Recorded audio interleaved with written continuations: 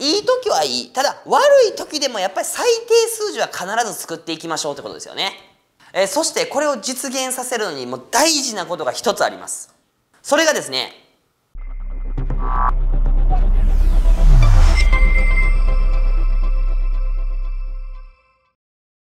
皆さんどうもこんにちは。こんばんは。の方はこんばんは。株式会社即決営業人情派の犬です。えー、本日は皆様にですね感覚で営業をやっちゃダメ。そして安定して数字を上げるのに必要なこと。ということで今日はお話していきたいと思います。即決営業、えー、まずはですね本当に皆様日々の営業活動お疲れ様です。でこう営業していく中でですねこう目標達成をこうする月もあるでしょう。ただですねこう残念ながらねやっぱこう未達の月もあるはずです。えー、そして私ですね、まあ、年間でね100人近くの方をこう個別でね直接コンサルさせてもらいますえー、そんな中でこの達成したりしなかったりでやっぱ苦しんでる営業さんの話をよく聞くんですね。まあ簡単に言いますといわゆるこの売上です。この売上が安定しないということですよね。まあこれってねなんかすごいあの気持ち的に不安なんですよね。もうめっちゃわかります。えー、例えば達成した月はやっぱその瞬間は嬉しいんですけどまたね翌月からこうゼロになっちゃうわけなんですよね。だから今月はいけるかなとかねまた目標達成できるかなっていうこういう不安がやっぱ押し寄せてくるわけですよ。でまだねこの未達だった次の翌月ってまあ今月こそ達成するとってこう気合は入ってるんですけどほんまに達成できるかなとか先月かんかったしなってやっぱこういう不安がまたね襲ってくるわけですよね。まあこれはねやっぱ分かる方めちゃ多いと思います。でまたですねこういわゆるフルコミの方いわゆる完全不合の方だったらもうこの不安ってもうとてつもない不安になるわけですよね。理由がね、まあ、先月売れても今月売れなかったら結局給料ゼロなわけですから。で私も18年間ね営業をずっとこのフルコミッションでやってきて給料がねゼロだったらいいんですよ。ゼロでもなくもういろんなね交通費とかも出ないですからその分赤字になるんですよね。えー、ですからですねこの売り上げが安定しないというのはやっぱお給料的に言うとやっぱフルコミッションの方は非常に大きな課題になります。またやっぱフルコミッションでないにしてもやっぱり毎月毎月達成できるかどうだろうっていうこの心の不安っていうのはすごい大変なんですよね。でそれをしっかり安定させていきましょうっていうのが今回のお話です。あのまあいい時はいい。ただ悪い時でもやっぱり最低数字は必ず作っていきましょうってことですよね。えー、そしてこれを実現させるのにもう大事なことが一つあります、えー、もうその伝えたいことはその一つになります。それがですね感覚で営業をやっちゃダメ。営業の理論です。これをしっかり学びましょう。ということなんですよ。もうこれだけです。もうこれが数字の安定を必ず作ってくれます。そしてこの数字の安定はですねもう間違いなくこの心の安定も作ってくれます。ですから営業の理論を学ぶということはあなたの営業人生においてもう心の安定を作ることとイコールなんですよ。ですからしっかり学びましょうってことなんですけどここちょっと詳しくお話しますね。でこうやっぱ売り上げが安定しない営業さんのこの商談とかの話を聞いてるとよくわかるんですよ。例えばあのアプローチの部分ですね、まあ、例えば自己紹介とか雑談の場面になるんですけど、えー、僕はですねそういう時って何喋るんですか？どういうこと喋るんですかって聞きます、えー、そうするとんまあ特には決まってないですけどまあ軽くなんか雑談したりですかね。でこんな感じの答えが多いですからあなるほどと。ちなみにその軽く雑談ってどんな雑談ですかと。ね、またどんなことを意識して雑談されてるんですかと。そこまで突っ込むといやそれに関してはいやそこまで特には意識してないんですけどね。とかうんまあそれはお客さんにとって変わりますけどねみたいなこんな感じの答えなんですよ。なるほどと。じゃあ例えばどんな会話なんですけど詳しくさらに聞くと「えー、そうっすね。まあなんかこう趣味を聞いてみたり」とか「あいいじゃないですか。なるほど。でなんで趣味聞くんですか?」って聞いたら「うんなんかねこう共通点があればいいかなとか。ああ共通点いいですね。じゃあその共通点は何で探しに行ってるんですかと。いやなんかねそれがこう仲良くなれるかななんて思ってるんですけど。あなるほど。じゃあ雑談は仲良くなろうとしてるんですね。ああまあ意識はしてないですけどまあ確かに言われたらそんな感じですかね。っていうねまあなんかこんな感じの会話がもうめちゃめちゃ多いわけなんですよ。あの特に何かを狙ってやってるとかここではこういうことを意識してやってるとかじゃないんですよね。なんとなくアプローチのパートをやってるって感じです。まあ、これがいわゆる感覚でやってる営業ってことですよね。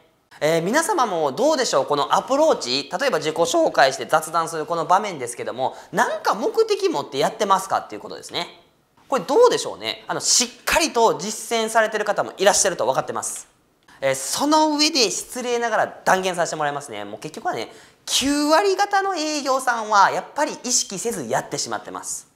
はっきりとした目的もなくなんとなくアプローチをやってるわけなんですね。えー、これアプローチだけではないですね。その後のヒアリングもそうです。ヒアリングもなんとなく聞いてるっていう感じですよね。なんとなくまあこういうこと聞いとくかでまあ聞きたいことだけ終わってるみたいなそんな方が非常に多いんですよ。またこの後にプレゼンねプレゼンも一生懸命やってるのは分かります。やってるのは分かるんですけどこれもなんとなくやってるんですよ。そしてプレゼンの後のクロージングもまあもちろん皆さんクロージングしてますけどクロージングもやっぱ調子によってやることは変わってくるわけなんですよ。あ調子いいぞとなんかこの商談決まりそうって思ったらクロージングもぜひやってくださいみたいな感じでね強く言うし。あなんかこの現場決まりそうにないなってなんか感覚でやってたらもう早々と帰っていくっていうそんな感じですよね。という形でもうこれがねいわゆる感覚でやる営業です。もうこれのやり方してたらそら数字は安定しません。もう言い切ります。安定しません。ですからね大事なことはしっかりとした営業の理論です。これを学ぶことなんですよ。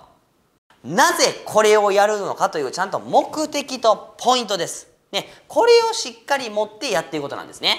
えー、先ほどのアプローチの話で言うとアプローチの目的は何か。心の扉を開くことです。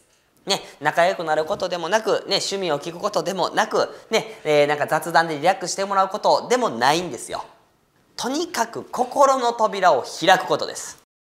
で、これができてたらもうアプローチは終わりです。逆にこれ心の扉開いてなかったらアプローチは終わっちゃダメなんですよ。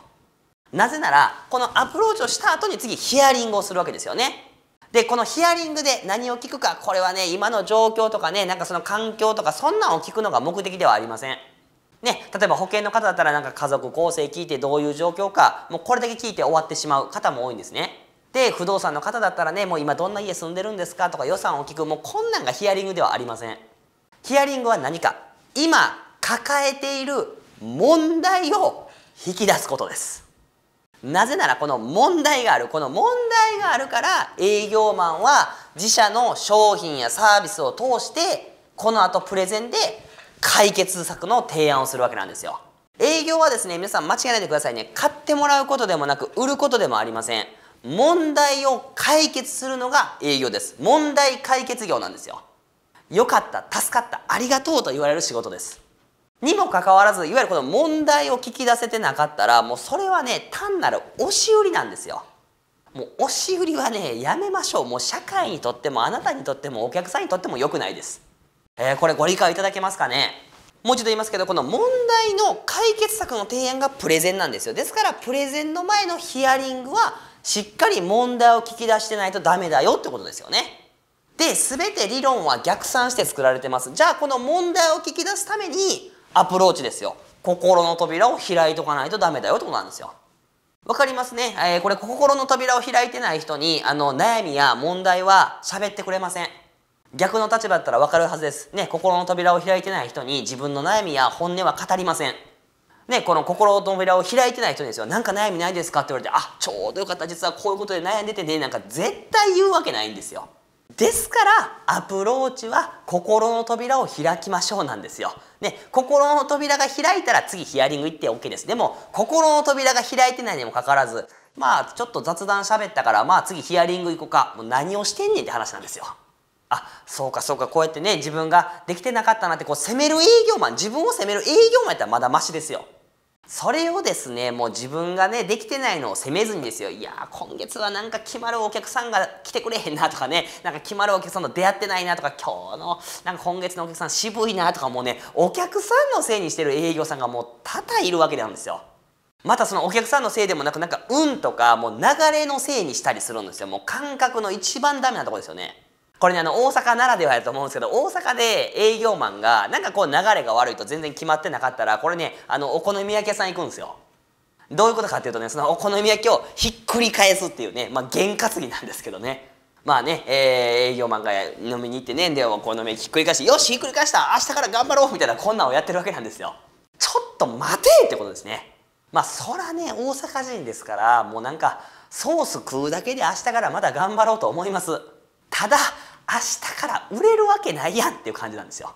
ですからねもうこんな感覚でやる営業はもうやめましょう。で大阪人もね本当にねお好み焼きに頼るのやめましょう。いや僕はねそういうの本当嫌いじゃないんですよ。嫌いじゃないです。あの美味しいお好み焼きやったらぜひあの教えてください。ただ本当にね感覚でやってては絶対に売り上げは安定しないわけなんですね。ですから話戻ります。しっかりとした営業の理論これを学びましょうということです。例えばですね営業マンがお客様に何かこうネガを言われた反論を言われたと例えば高いなとか言われたと、えー、もしくはねいやちょっと今日は決めれないですとか言われましたと。まず何を言わないといけないか。これはですねありがとうございますです。ではしっかりこれ理論学んでくださいね。なぜありがとうございますというのかです。これはですね自信と余裕この2つを伝えるためです。このいわゆるお客様の反論にですね焦ったりあそうなんですかっていうこう弱る姿を見せては絶対にいけません。なぜならそれによって自信がないように伝わってしまうわけなんですよ。あの皆さんの話を聞いてお客様いいなと思ってますからお客様も買うかどうか悩んでます。悩んでるという状況なんですよ。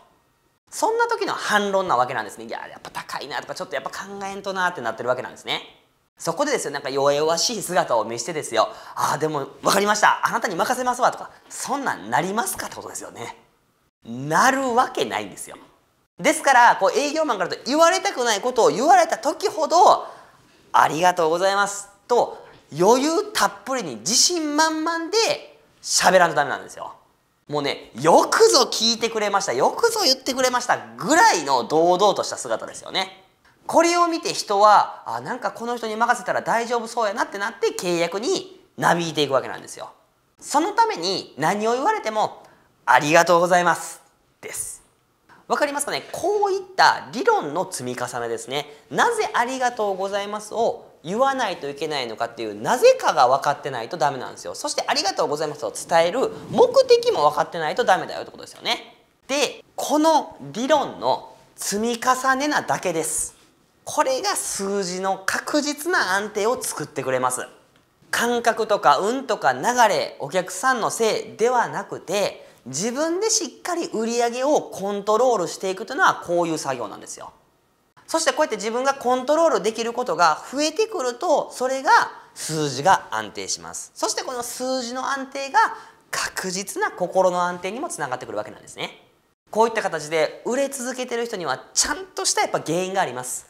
えー、ですから皆さんもぜひねこの感覚でやるこの営業をもう卒業しましょう。そしてしっかりとした理論を学んで数字を安定させましょう。そしてその安定を作った先にですねトップセールスになってください、えー、私はですねそのトップセールスになりたいっていう人を必ず応援させてもらいます。えー、そしてねこの話を聞いてぜひじゃあこの営業の理論ですよねここを学びたいと思われた方ちょうどよかったです。ぜひですね、我々即決営業のこのセミナーや研修に参加してください。えー、我々即決営業のですね、受講生の方、皆さん結果がやはり出ています。なぜなら我々即決営業はですね、もう本当に理論です。ね、よくある営業力とかね、えー、運を良くしようとか、そんな話をしてるわけではないんですよ。営業の理論をちゃんと一からお伝えしています。ですから営業初心者の方はもちろん営業をもし20年やってるベテランの方でもしっかり一から学べます。そしてこのセミナーや研修が間違いなくあなたの営業人生のターニングポイントになります。それはですね断言します。私がセミナーをやってるからですね。えー、そういった意味で私はですねあの大阪で待ってます。またねあのウェブでもやっておりますからあの全国からのご参加をねお待ちしております。えー、申し訳ないのはねこの一度のセミナーをしっかり皆さんに理解してもらうために、えー、一度必ずあの10名までにさせてもらってますのでちょっとお待ちいただいている方も非常に多いんですけどね、えー、そこは大変恐縮なんですがぜひ皆さんご参加お待ちしております。即決営業。以上まとめますとですね営業は感覚でやってはダメ。しっかり営業の理論を学ぶことによって数字の安定が作られそしてそれが心の安定につながります。ぜひ頑張ってくださいそしてこのチャンネルではですね、えー、即決の技術を伝えそして営業マンの売り上げを上げるためにあの日々、えー、動画を配信しております。この動画を見てですねなるほどなと思われた方はですね、えー、ぜひ高評価そしてコメントですねまたチャンネル登録よろしくお願いします。えー、成功はですね本当に技術の集合体ですから必ず誰でも成功できます。また頑張っていきましょう。以上株式会社即決営業人情派の乾でした。どうもありがとうございました。